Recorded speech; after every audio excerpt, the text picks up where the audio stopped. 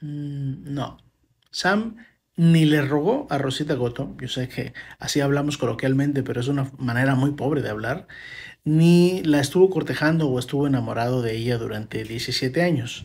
Yo sé que las películas no reflejan que hayan pasado 17 años entre el cumpleaños de Bilbo y la partida de Frodo rumbo a Rivendell para destruir el anillo, pero ante la constatación de esta discrepancia entre los libros y las películas, no debemos insistir en lo que vemos en las películas.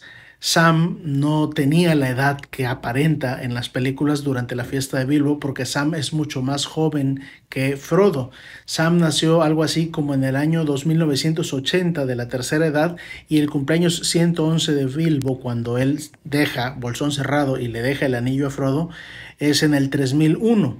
Ese día, por cierto, 22 de septiembre del 3001, Frodo cumple los 33 años de edad, que sería la mayoría de edad hobbit, mientras que Sam eh, era un joven de 21 años, que en términos hobbits, para los hobbits sería básicamente aún un niño, y Rosita Coto no era de una edad muy distante a la de Sam, así que no, no, no hubo 17 años de rogarle a Rosita Coto.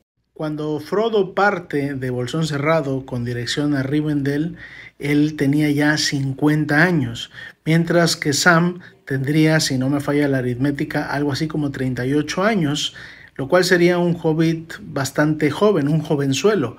En cambio, Frodo ya estaría entrando a una edad madura en gran plenitud. Eh, lo mismo vale, por cierto, para Merry y Pippin. Merry era ligeramente más joven que Sam y Pippin todavía no alcanzaba siquiera la mayoría de edad, lo cual, por cierto, se condice bastante bien con su personalidad chaotic good.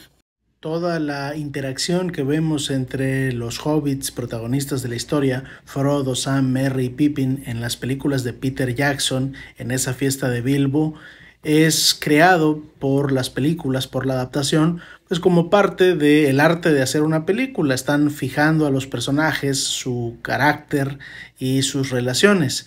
En los libros nada de eso ocurre, no hay un Sam bailando con Rosita Coto, ni Merry y Pippin robándose los juegos pirotécnicos de Gandalf o como en las versiones extendidas después lavando platos.